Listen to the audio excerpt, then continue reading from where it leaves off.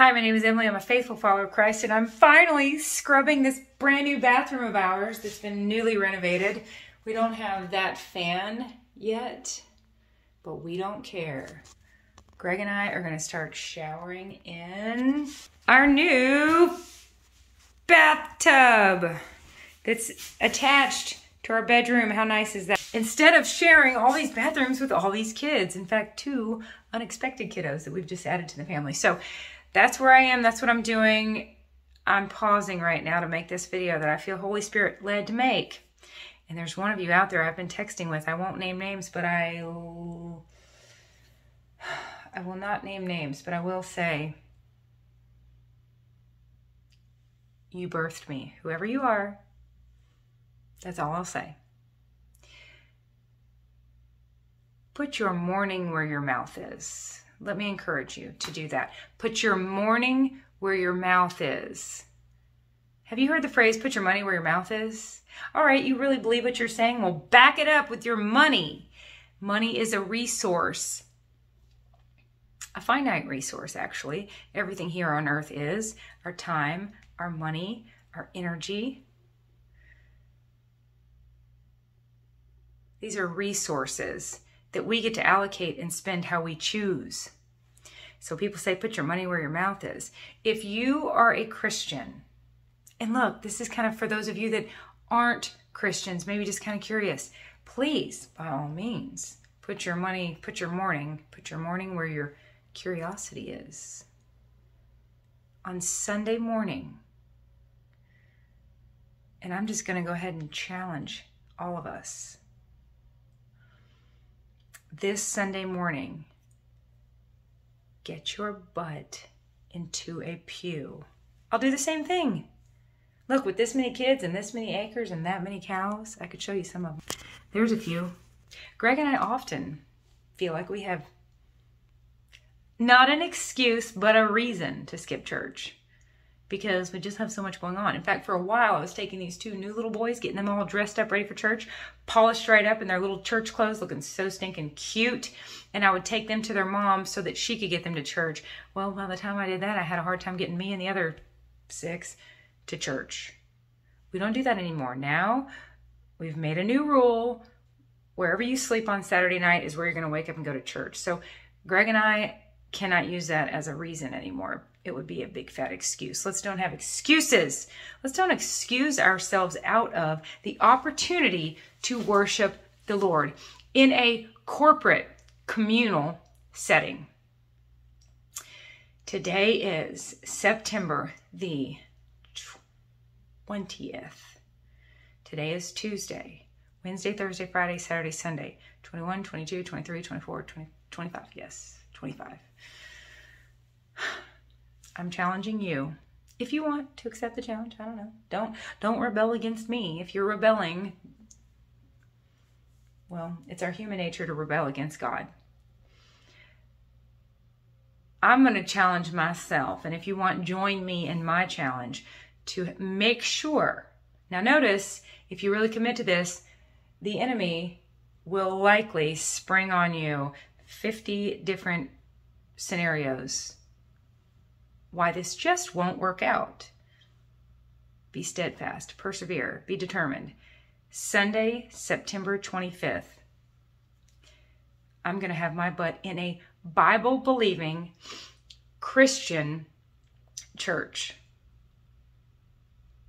Okay, I'm not going to go into details, but I'd rather you pick grass in a field then go hear lies coming from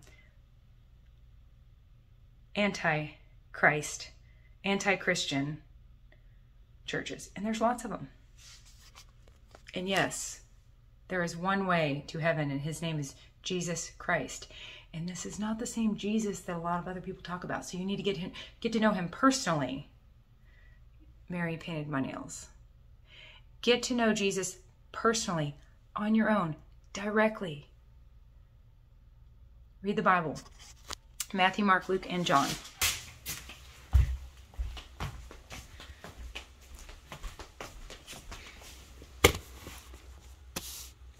Uh, the New Testament starts with Matthew. Matthew and Mark and Luke and John each gave their own account of Christ. From there starts the new church because Christ had already uh, gone to heaven. This is where we start learning about the Holy Spirit, which just absolutely continues to blow my mind. Galatians is one of the, my favorite, all-time favorite books of the Bible. Um, Galatians 2:20. This is a letter that Paul wrote saying, "It's no longer I who live, but Christ who lives in me." This is also where we get the fruit. Look at my highlighting. That's before I learned how to highlight. I'm just kidding. Mary did that. Okay, this is also where we get the fruit of the Spirit. Now, hear that. The fruit of the Spirit, not the fruit of Emily, not the fruit of you. It's not the fruit of me. I used to accidentally tell kids, Is there a fruit of the Spirit you need to work on? Okay, that is so wrong. Um, the fruit of the Spirit. But the fruit of the Spirit is love, joy, peace, patience, kindness, goodness, faithfulness, gentleness, and self control. If you're wanting to memorize those, let me give you a little hint. They come in um, in little three little groups of three. There's nine total. The first three have one syllable love, joy, peace. The second three have two syllables patience, kindness, goodness. The third three have three syllables faithfulness, gentleness, and self control. And obviously, that little trick only works if you are using the uh, NIV, the New International Version because some people call patience forbearance. So if you're using the New International Version, you can use that little trick. But listen, get to know Jesus so that when you hear other religions, not relationships, religions, talk about Jesus. Okay, I know a whole bunch of people named Susie. No, I don't. I one. I know a bunch of people named Brad. I know several Marys. There are lots of people named Jesus, but there is only one Jesus Christ, Son of God. And trust me, there are religions that are teaching a false Jesus. Put your morning where your mouth is. My dear friend Audrey, hey girl. She was saying, she wrote me this awesome card I just loved it. And she said, Thanks for being his hands and feet. In the body of Christ, which is talked about in the book of First Corinthians, I believe it's 12 27. But you are the body of Christ. Each one of you is a part of it. The body of Christ is just that it's a body with members. Where his hands, where his feet, where his pupils, where his lips, where his adenoids. we are his skin and fingernails and muscles and tissue and lungs. A friend of mine is a physical therapist, Nikki. Nikki, I'm going to send this to you. I'm going to send this to you. Um, Nikki is a, oh, mom, there you are. I told my mom to call me so I could get something off my chest that the Holy Spirit wants me to tell her. Mom, I'll call you right back. Um, a friend of mine's a physical therapist and she said there are times she feels the spirit flowing through her. I said, without a doubt, without a doubt, because he dwells within you. And she said, for she said for you, Emily, it's like it's verbal. Amen to that, because we've all been given different gifts. She is gifted physically, and I mean a spiritual gift.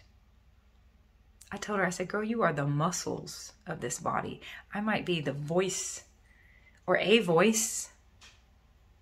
And by the way, we have all been given gifts, and at times we're lent a gift. We might get a gift for the day to use it to build the kingdom. So there's not one of us that can do one thing, but all of us must come together for the body to operate, for it to succeed, for it to function. Let me encourage you put your Sunday morning where your mouth is. And this Sunday morning, go worship the Lord with your brothers and sisters in Christ, in fellowship with your fellow body members.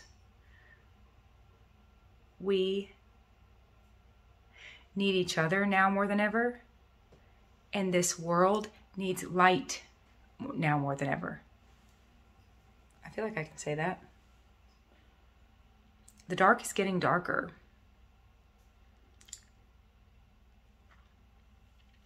Thank God for Jesus, the light of the world. John 8 12.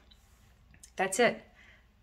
Put your morning where your mouth is, and I challenge you, Emily, to get to church. I already have an outfit picked out. I'm gonna wear jeans, a white t-shirt, cowboy boots, and this like thing that is thin that some of my kids were like, is that a bathrobe? And I was like, no. And Mary said, you kind of look Chinese. I said, thank you. We shall see.